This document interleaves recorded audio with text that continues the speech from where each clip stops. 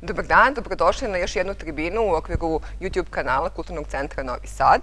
Ja sam Jelena Todorović-Lazić. E, danas ćemo nastaviti naš, e, naše putešestvije po evropskim e, državama, državama članicama Evropske unije, odnosno onim državama koje su u poslednjem talosu proširenja postale članice Evropske unije. Prošli put smo govorili, prošli i preprošli put smo govorili o Češkoj, kroz dve tribine. Danas ćemo govoriti o, Slovačkoj, znači sasvim logično nastavljamo uh, sa državom partnerom iz federacije, odnosno iz prvo zajedničke unutarnje države, a potom i iz federacije. Mislim da će ova priča biti vrlo interesantna zato što je Slovačka jedina država, sadašnja članica koja je imala blokirane pregovore usled nedemokratskih tendencija koje su se desile u toj državi tokom pregovora o članstvu. Dakle, to je jedinstveni slučaj e, do sada zabeležen u istoriji integracija. I Slovačka je država koja je uprkos tome i u tom zaostatku početnom uspela da stigne da na vreme postane, e, da se na vreme priključi 2004. sa ostalim državama. E, I pored toga što je stigla, ona je mnoge od tih država iz prvog talasa koje su prvo otvorile pregovore poput Češke, koje smo prošli put pomenjali, pretekla na mnogo nivoa. Vidjet ćete do kraja e, da, e, današnje, a i tribine, ove, sledeće tribine, pošto je biće iz dva dela, naravno, ove, dosta materijala da bismo u jednom sve to pomenuli. Uh, uspela je da ostvari značajne uh, ne samo ekonomske performanse, već da bude već da uđe u one neke segmente zajedničkih politika poput eurozone u koje njeni susedi iz Višegradske grupe i dan danas nisu ušli. Dakle, da hoćemo da vidimo kako je e, ta mala, najmanja od svih e, država iz Višegradske grupe uspela da ih e, stigne i prestigne i kako je bio, da vidimo taj njen put, zašto je bio tako težak, šta se to dešavalo, koliko je Evropska unija zapravo tada bila dosledna, a koliko danas više nije dosledna kada, su, kada je u pitanju kažnjavanje autokratskih tendencija koje se dešavaju kod nekih lidera njenih kod njenih država članica.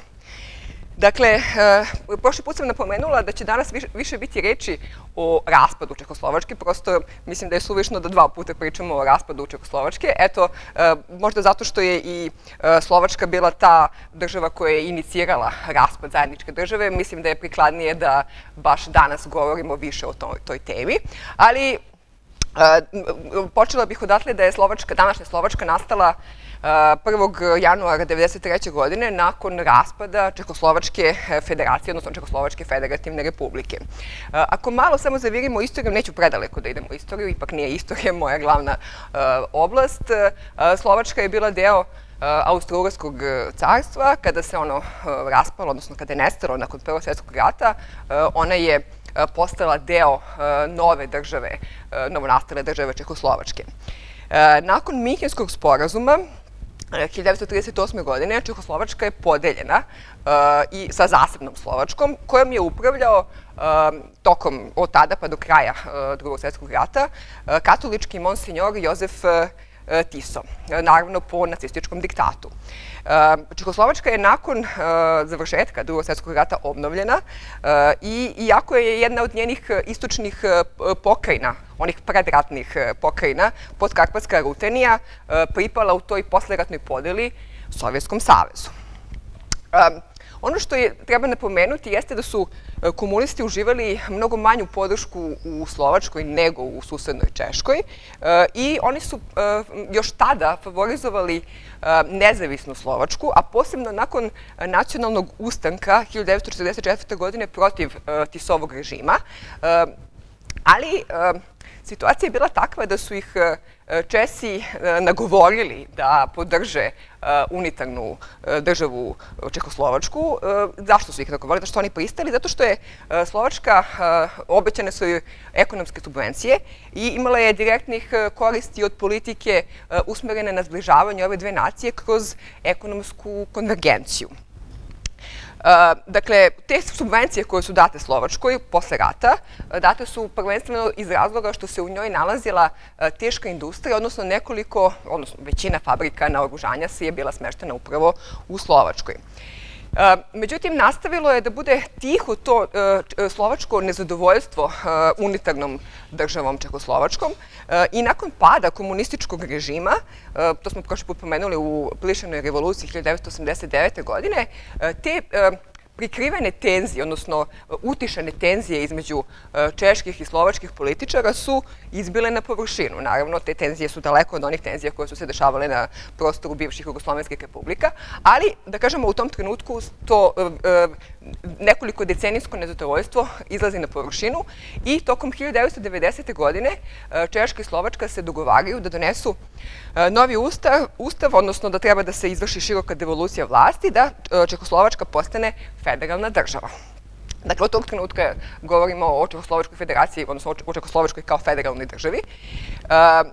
U to vreme je najpopularniji slovački političar, a i onaj koji obeležio upravo taj period autokratije, čuvene autokratske vladavine u Slovačkoj, bio je Vladimir Mečijak, koji je tada osnovao svoju partiju Pokret za demokratsku Slovačku, HSDS, i on je odmah od osnivanja te partije e, tražio veću autonomiju za Slovačku, veću od one autonomije koje je mogla da dobije u federaciji. Dakle, njegove težnje su bile da Čehoslovačka postane e, labava konfederacija.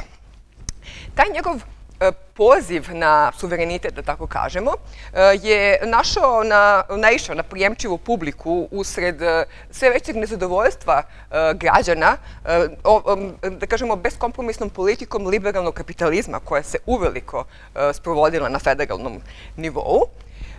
I ono što je dodatno njemu olakšalo put do birača jeste što je nezaposlenost u Slovačkoj u tom trenutku bila tri puta veća nego u Češkoj sredinom 91. govorimo o sredini 91. godine. E, nakon izbora 92. godine, novu slovačku vladu je u potpunosti formirala Mečerova partija, HSDS, osim jednog ministra. Dakle, e, svi osim jednog ministra su pripadali njegovoj partiji. E, s obzirom da je cenzus bio jako visoko postavljen, u tom, u tom trenutku visoko postavljen, govorimo o kraju jednopartijske države i početku višepartizma, na pet prosto. Mečerova partija je osvojila 74 mesta od 150 u parlamentu, u slovačkom parlamentu, a e, sa svega 37,2% glasova. To je nečuveni proporcionalni sistem i njegovi nedostaci, e, dakle, mislim, uslovno rečeno nedostaci ako gledamo iz ugla drugih partija, iz ugla pobedničke partije, uvek su to prednosti proporcionalnog sistema. E, on je, iako izbegavao tu separatističku retoriku, bio je čvrst u tom nekom insistiranju da se donese posebna slovačka deklaracija o suverenitetu. Iako je istraživanja, iako je većina istraživanja javnog mnjenja u tom trenutku pokazala da se ogromna većina slovačkih građana zalaže za održavanje zajedničke države, postalo je vrlo teško pomiriti ove tenzije, ove težnje koje je ispoljavao Mečijar sa željama e, slovačkog naroda. E, prosto on je previše insistirao na tom e, proglašavanju slovačkog suvereniteta i kao rezultat tog njegovog insistiranja na suverenitetu, tadašnji češki premijer Vaslav Klaus ga je uslovno rečeno naterao, ali prosto dogovorili su se o rasporedu razdvajanja. Dakle, Odustalo se od plana održavanja referenduma, pošto je bio prvobitni plan da se građani pitaju za raspad za razdvajanje Češke i Slovačke. Bilo je jasno da na referendumu to pitanje e, neće proći, jer će e, građani ga neće podržati, pa su onda pristupili tom, e, da kažemo, dogovorenom razdvajanju na visokom nivou, na visokom nivou dogovorenom razdvajanju i ono je stupilo na snagu 1. januara 1993. godine. Odmah nakon sticanja nezavisnosti, Vladimir Mečijak je već počeo da ispoljava svoje autokratske tendencije, tako što je e, počeo da e, koncentriše vlast e, u rukama svojih najodanijih saboraca. Šta to znači? Znači da je ono prvo što se dešava kada govorimo o autokratskim tendencijama, to je da je sloboda štampe je bila na prvom udaru prvobitno ugrožena.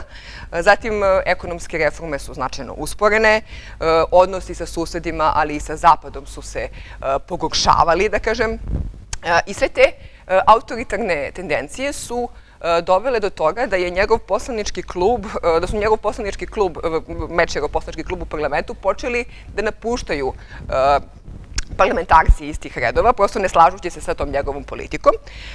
On, to je u neku ruku podrilo njegovu poziciju i bio je primoran da traži koalicijonog partnera E, dakle, on je tu podršku našao kod krajnje desničarske slovačke nacionalne partije, a koja je već i sama bila podeljena. Dakle, ovako kako je HSDS počeo da se deli, tako je i ova nacionalna desničarska partija bila podeljena. I nakon tih nekoliko neugodnih meseci vlade, odnosno koalicije između Mečijara i Slovačke nacionalne partije, Vlada je izgubila poverenje i raspuštena je, a na sledećim, na izborima koji su održani, vanrednim izborima je poražen. Na tim izborima novu vladu je e, formirala koalicija, široka koalicija od pet stranaka i nju je predvodio Jozef Moravčik koji je bio ministar inostranih poslova pre nego što se pridružio opoziciji o početkom 1994. godine. Dakle, ovi izbori se održavaju tokom 1994. godine, ovi vanredni parlamentarni izbori. Nakon obećavajućeg početka, ova vlada je, i ona je izgubila poverenje, odnosno raspala se, raspisali su nove vanredne parlamentarne izbore za septembar 1994. u nadi da će dobiti čvršći mandat.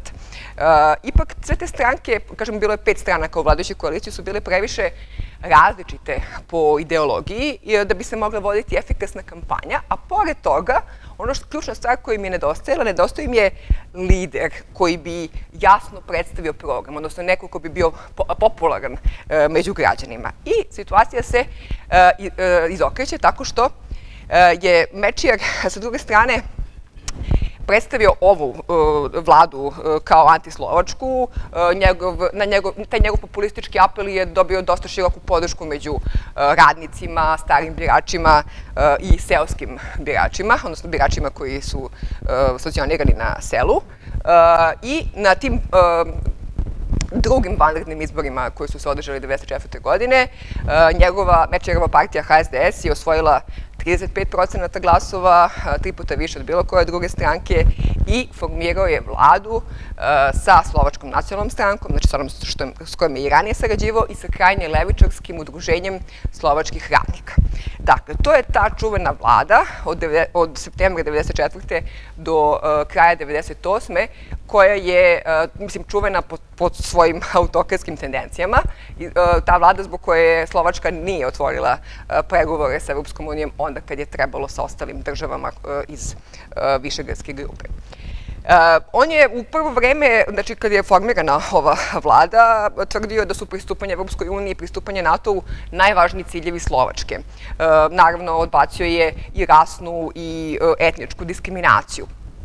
Ali ugled te vlade u, inostranstvu je bio narušen zbog više faktora.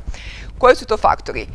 Ipak, on je deklarativno se zalagao samo za podršku evropskim integracijama, dok prosto nije nije dosledno se držao onih koraka, to je nama poznato na Zapadnom Balkanu, kako izgleda deklarativno pridržavanje integracija, podržavanje integracija kažem, to što je bilo zamerano jeste ta deklarativna, uh, deklarativna podrška integracijama, zatim uh, manipulacija programom privatizacije u korist vladinih simpatizera i ono što je ključna autokratska stvar jeste um, uvođenje zakona o jeziku, diskriminatorskog zakona o jeziku, po kome je uh, slovački jezik jedini legalni jezik u svim službenim postupcima i u velikom delu svakodnevnog javnog života. To je u tom trenutku predstavljalo veliki problem, imajući u vidu veliku manjinu koju, su, koju predstavljaju Mađari, i, s druge strane, veliki procenat romske manjine. Dakle, vidjet ćete nešto kasnije, prošli put kad sam govorila da je situacija sa Romima u Češkoj bila problematična, i da, ali da nije to država koja ima najveći procenat Roma, upravo je Slovačka država koja, ima, koja je imala u tom trenutku, kada je počela svoj europski put, najveći procenat Roma. Dakle, e, to, je bio jedan alarmantan razlog e, da e, zemlja kreće u autokratiju, to ukidanje drugih jezika, jezika manjina. Pored toga, rasla je i zabrinutost zbog korišćenja Slovačke informativne službe, odnosno Slovačke bije, da kažem tako, u operacijama obračuna protiv protivnika premijera Mečijara, e, kao i zbog njegovog javnog prepucavanja sa predsednikom, između predsednika Mihajla Kovača i Vladimira Mečijara na mestu premijera. E, tako da je e, vremenom stil vladavine Vladimira Mečera postojao sve više populistički, nacionalistički, autoritarniji. Neki od njegovih postupaka su naveli komentatore, tadašnje komentatore, da se pitaju da li je Mečer odlučio da a, svoj cilj, a, prolongirani cilj zapadne integracije podredi jačanju svoje lične vlasti i to isključivo nedemokratskim sredstvima. Politička situacija je postala sve nestabilnija, promenjen je, donet je novi izborni zakon, a takođe je bilo i problema oko izveštavanja, medijskog izveštavanja tokom izborne kampanje. Sve to posebno ću govoriti o evropskoj priči, dakle, ajmo da se držimo za početak unutrašnje priče, da bi se lakše objasnila ona spoljašnja evropska priča. Dakle, ova koalicija je izdržala ceo svoj mandat od 94. do 98. godine, ali na izborima 98. godine birači su kaznili takve tendencije i izabrali potpuno drugu, druge stranke i drugu vladu na čelu sa Mikulašom Dzurindom, koji je postao novi premijer. E sad, da se dotaknemo romske populacije, dakle, postupanje prema velikoj romskoj populaciji, zvanično 1,6 procenata, ali nezvanično se procenjuje da je u tom trenutku bilo između 4,8 do 10 procenata stanovništva među Romima, dakle u Slovačkoj, početkom 90. godina prošlog veka. Ono što je bilo problematično, dakle, nije suština bila u tolikom broju problematična, nego u tome što je značajan broj Roma iz Slovačke tražio azil u zemljama članicama zemljama Evropske unije. Dakle, imate ogromnu populaciju Roma i oni traže azil. E, jeste situacija bila do, do, tog, e, do tih izbora, e, da kažemo, nedemokratska, ali Zamislite Evropu u panici od e, slovačkih Roma koji masovno traže azil u bogatim e, državama. Čak je vlada u nekom trenutku naredila nacionalnoj službi za zapošljavanje, odnosno nacionalnoj službi za rad u slučaju Slovačke, da prestane da identifikuje nezaposlene Rome u evidenciji o registraciji, a Ministarstvo pravde je najavilo da će predložiti izmene krivičnog zakona kako bi se jasnije definisalo šta su rasno motivisani napadi i da bi se predvidele strože kazne. Povod za to jeste jedno ubistvo Romkinje majke osmoro dece tokom augusta 1998. godine i Vlada je insistirala na tome da je veliki broj tih Roma tražioca azila te ekonomske migracije ekonomski motivisano i kao jasan znak podrške tom stavu, Norveška i Finska su deportovale praktično sve Rome iz Slovačke koji su kod njih zatražili azil, a sa druge strane neke druge države Evrope, poput Belgije, su ponovo uvele vize za, za sve državljane uh, Slovačke. Dakle, upravo zbog te uh, najezde zahteva za azil koji su dolazili od slovačkih Roma u Briselu. U, dakle, u ovom trenutku, tačno je punih 19 godina, 16. aprila je punih 19 godina kako je Slovačka potpisala ugovor o pristupanju sa Evropskom unijom. E, taj proces e, bliže izgradnje e, odnosa između Slovačke i Evropske unije je započeo oktobra 1993. godine, kada je Slovačka potpisala sporazum o pridruživanju, onaj čuveni evropski sporazum o kome sam prethodnih put, prethodne, pre dva puta govorila. 1995. godine je nakon što su Nacionalni savjet Republike Slovačke, to je Slovački parlament, eh, i parlamenti zemalja članica Evropske unije ratifikovali taj sporazum, eh, tadašnji premijer Vladimir Mečijar je zvanično podneo zahtev za članstvo u Evropskoj uniji. Dakle, držao se deklarativno, kažemo, tih tendencija da država želi integracije u Evropsku uniju. Naredne godine su, odnosno sledeće godine, su obeležile zabrinutosti i primede Evropske, Evropske komisije. To se sve odnosilo na ovu nestabilnost slovačkih institucija i pomenuti nedostatak demokratije, odnosno jačanje autokratije. oni malo pripomenuti izbori koji su održani 1998. godine su označili prekretnicu u odnosu Slovačke i Evropske unije. Evropska unija je pozdravila te rezultate, a prva inostrana poseta novog premijera Mikulaša Zorinde bila je poseta Briselu. Na samitu u Helsinki u 1999. godine Slovačka je pozvana da otvori pristupne pregovore o članstvu i evropske integracije su e, zapravo i stvarno postale e, prioritet nove slovačke vlade, ne više samo deklarativno kako je to bilo e, tokom vlade Vladimira Mečijera. Reforme su se fokusirale na ekonomska pitanja i na stabilizaciju demokratskih institucija i ti pregovori Slovačke republike o pristupanju su završeni na samitu u Kopenhagenu 2002. Dakle, ona je uspela da stigne ove države Višekratske grupe i tada je određen tačan datum za pristupanje i Slovačkoj i ostalim državama koje, kandidatima u tom trenutku. Deset zemalja kandidata je, kao što rekao, 16. aprila 2003. u Atini potpisalo ugovor o pristupanju, a zvanično se pristupanje dogodilo 1. maja 2004. godine, kada, kada su svih deset država članica postale nove članice. Na tom 1. maja na tom svečanom događaju su Slovačku predstavili tadašnji predsednik Rudolf Šuster i premijer Mikulaš Zurinda. E, ono što je, kažem, slovačko dostignuće jeste da je e, već 2007. godine postala članica šengenskog prostora, znači samo tri godine nakon što je postala članica Unije. Tada su ukinute granice, kontrole na granicama sa Poljskom, Češkom, Austrijom i Mađarskom. Pripremajući se za taj korak, Slovačka se suočila s jednim značajnim izazovom, a to je obezbeđivanje granice sa Ukrajinom, koja je postala istočna granica cijele evropske zajednice u tom trenutku. E, vidjet ćemo do, dosta godina kasnije koliko je problematična ta granica i, ovaj, e, nakon e, sukoba na, tom području.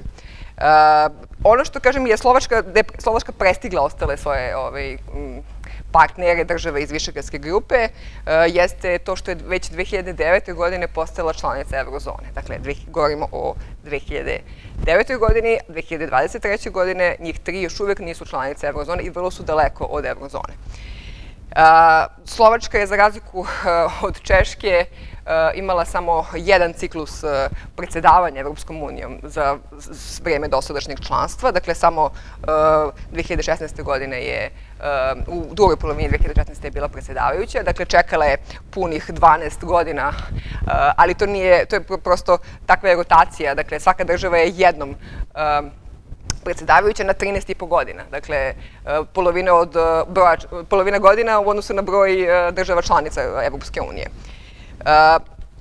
Sada bih nešto više rekla o tom evropskom putu, ne bih se previše koncentrisala na, na detalje iz izveštaja, ali proći ću kroz sve godine, dakle od 1998. do 2003. Danas ćemo završiti sa 2001. a sledeća tribina će se baviti sa ostala dva izveštaja, ostalim izveštajima i ovim koristima koje je Slovačka država dobila za vreme svog skoro dvodecenijskog članstva u Europskoj uniji. Ali da vidimo kako je to sve počelo. Dakle, e, dokument komisije pod nazivom Agenda 2000-te, e, koji je donet jula 1997. godine, izričito kaže da Republika Slovačka i Turska, Turska koja je i tada kandidat i danas je kandidat, ne zadovoljavaju političke kriterijume za članstvo. To su oni prvi kriterijumi iz prva grupa kriterijuma iz Kopenhagena.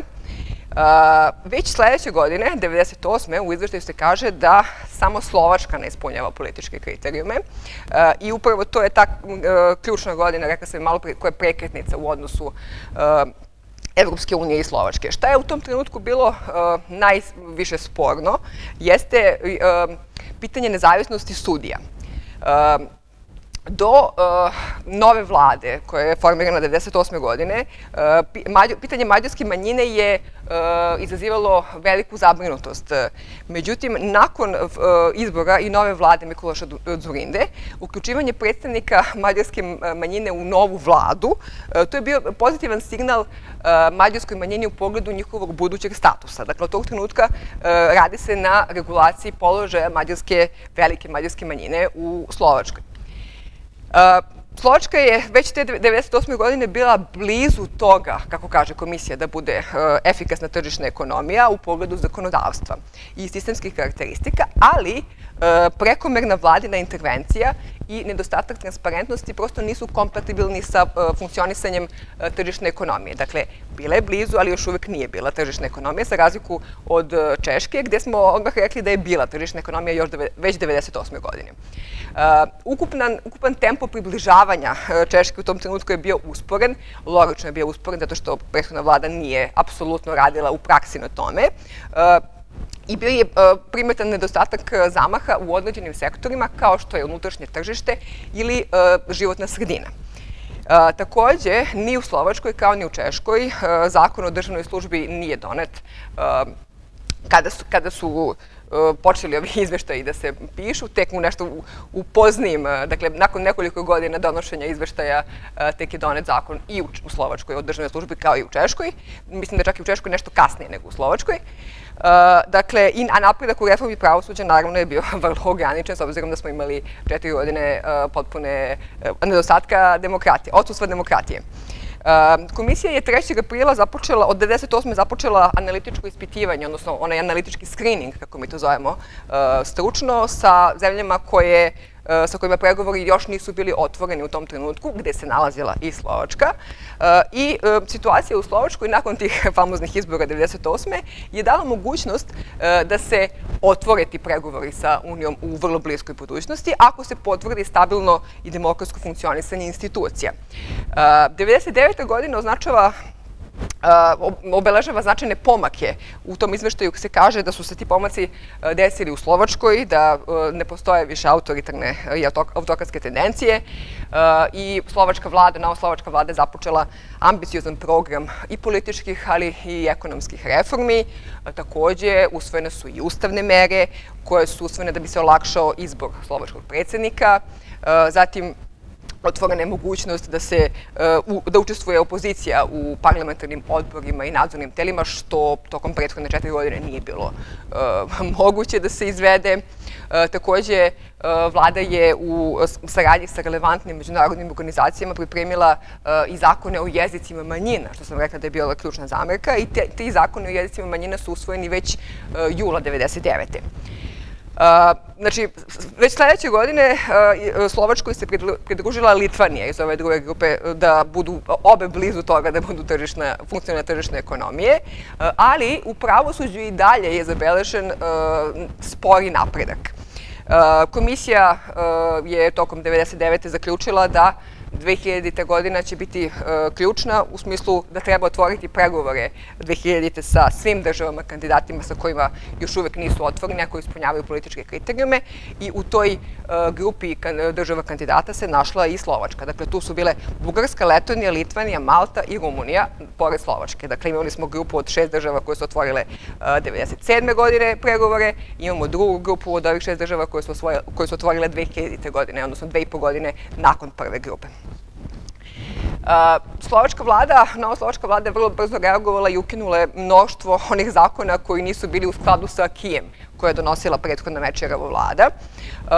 Ono što je napredak koji treba pomenuti jeste napredak u energetskom sektoru, gde je vlada odlučila da zatvori, vlada je odlučila, zato što je to bila direktiva Europske komisije, da zatvori blokove 1 i 2 u nuklearnoj elektrani Bohunice i to jedan reaktor do 2006. da zatvori, a drugi do 2008. godine.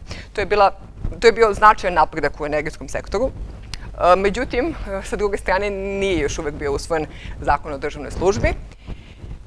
S obzirom na ono početno kašnjenje, dakle za ove e, dve i po godine kasnije otvaranje pregovora, Slovačka je morala značajno da pojača svoje napore u pripremi zakona i kapaciteta za sprovođenje tih zakona, e, kao što je komisija i obećala 15. februara 2000. godine su otvoreni pregovori sa ovom drugom grupom država gde je i Slovačka, a u izveštaju iz 2000. godine kaže se za Slovačku da ona i dalje nastavlja da ispunjava političke kriterijume, da je napredovala u konsolidaciji demokratskog sistema i normalnom funkcionisanju institucija, Međutim, e, da je ta brzina reformi malo e, usporila, da je izgubila e, određeni zamah zbog nekih nesuglasica, odnosno neslaganja unutar vladajuće koalicije.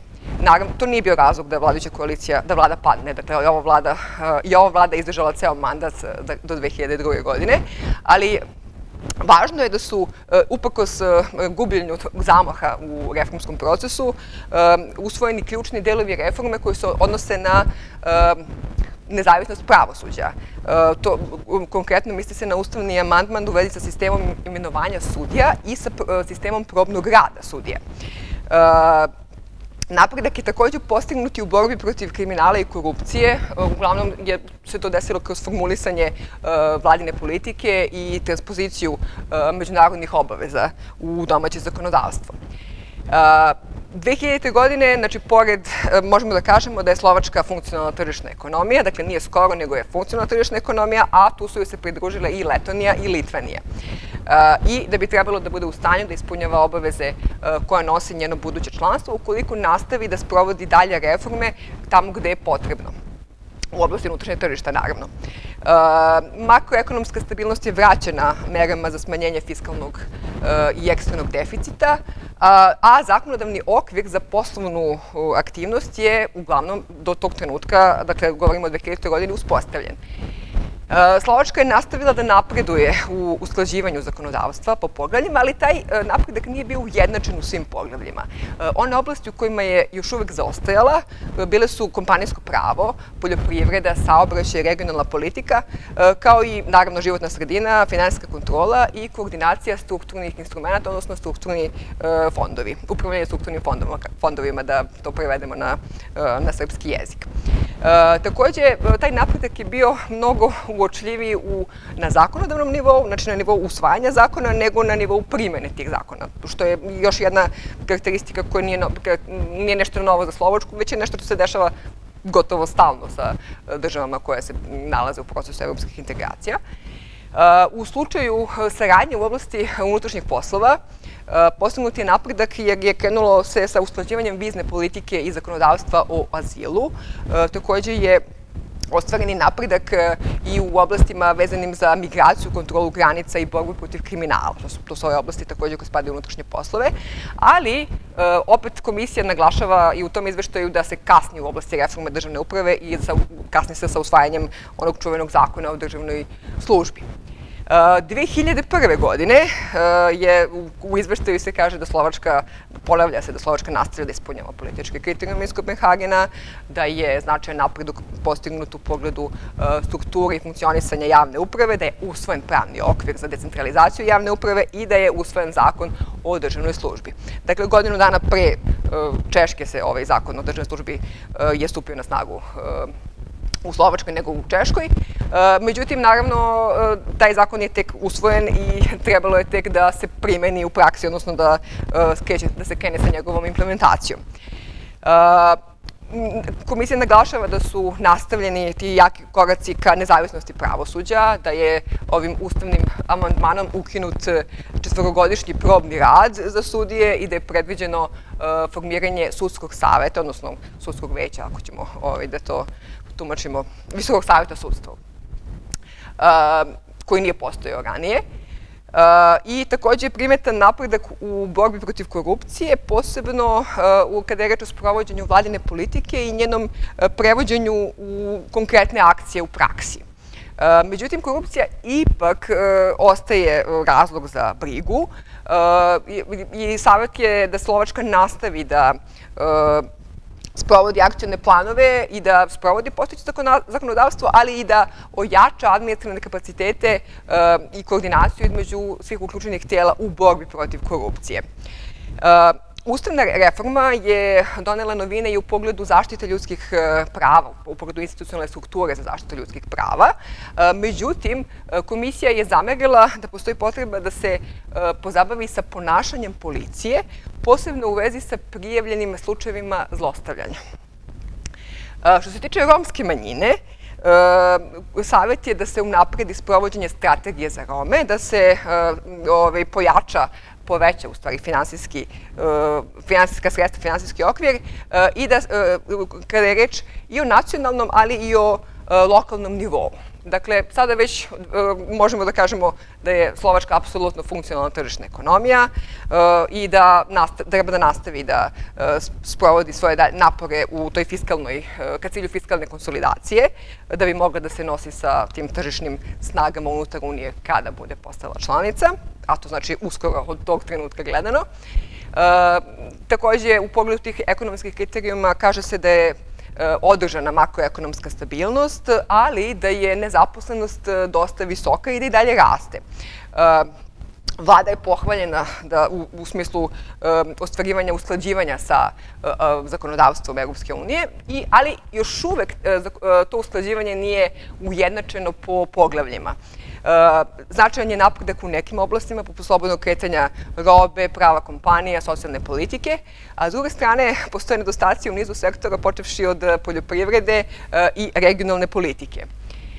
Što se tiče životne sredine, takođe je usklađivanje zakonodavstva dosta napredovalo, ali suštinsko usklađivanje, kao što sam više puta pomenula, tek predstoji jer je to poglavlje najkompleksnije i primjena propisa, mnogih propisa se odlaže čak po sticanju članstva. Dakle, toliko je složena i toliko je skupa primjena svih propisa da su mnoge države dobile i prelazne periode za potpunu implementaciju politike životne sredine.